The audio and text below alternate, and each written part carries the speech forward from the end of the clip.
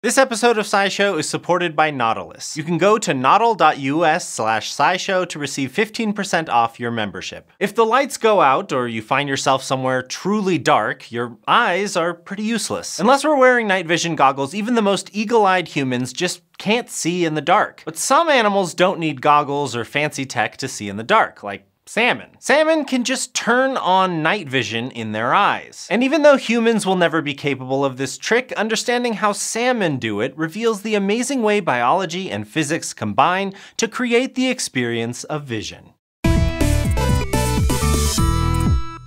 Now, it's not totally surprising that another animal can see things that we can't, because no seeing creatures see the world exactly the same way. Dogs can't see all the amazing colors we do, and we can't see all the incredible ultraviolet patterns in nature that it's believed bees and butterflies can perceive. We all see the world through different eyes. But in most of us, whether we're humans, dogs, butterflies, or bees, what we can see is hardwired into us. Our eyes are tuned to see specific wavelengths of light, down to our genes. We can't just change what's visible to us on the fly. But salmon can, and that's weird, because broadly speaking, salmon do see a lot like us. They have eyes with these special cells called photoreceptors, just like we do. And inside these photoreceptors, there are molecules called photopigments. Pigments absorb specific wavelengths of light, and whenever some light gets absorbed, it sets off a chain reaction inside the cell that ends with an electrical impulse. These electrical impulses then go to the brain, where they get transformed into some image of the world, and voila, you've got sight. Different pigments have different shapes, which lets them absorb different wavelengths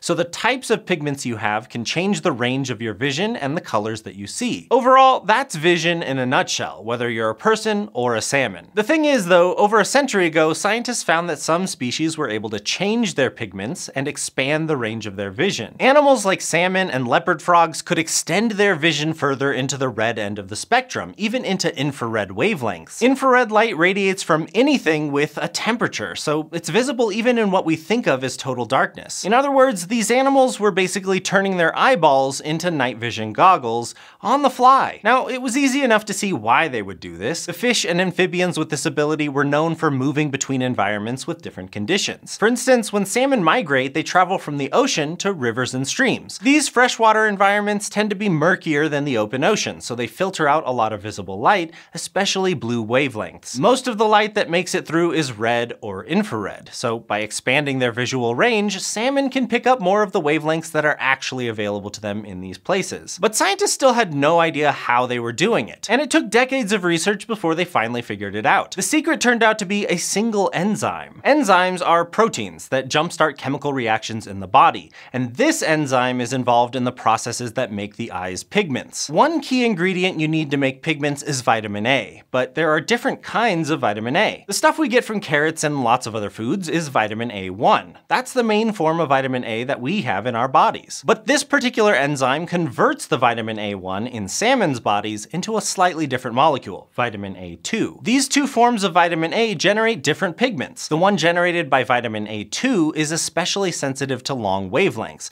so it enhances salmon's vision on the red end of the spectrum. So thanks to one enzyme, salmon can tune their vision by balancing the amount of vitamin A1 and A2 in their eyes. It's not like they're just flipping some vision switch at will, but their bodies seem to react this way automatically in response to changing light in their environment. Now, long before scientists understood how salmon and other animals managed to see in the dark, they knew it had something to do with the presence of vitamin A2. So naturally, scientists wondered if they could give humans night vision by getting some A2 into their systems, and some of them actually gave it a try. Back in the 1940s, a group of scientists fed eight med students a bunch of pike liver, which is high in A2, and then they measured the effect on their vision compared to a control control group. And the experiment actually worked a little. They were able to see a little bit beyond the usual end of the visible spectrum, but not enough to actually give them night vision. So sadly, there's no superpower I can turn on to see where I'm going when I'm driving through Montana in the dark. But the fact that salmon basically can turn on night vision shows that it's not some completely mysterious superpower. It's the same combination of biology and physics that lets us see the world at all. And thank you to Nautilus for supporting this SciShow video. Nautilus is a science publication that explores the mysteries of the universe through award-winning stories told with style. They take discussions of science and discovery one step further by merging them with art and culture,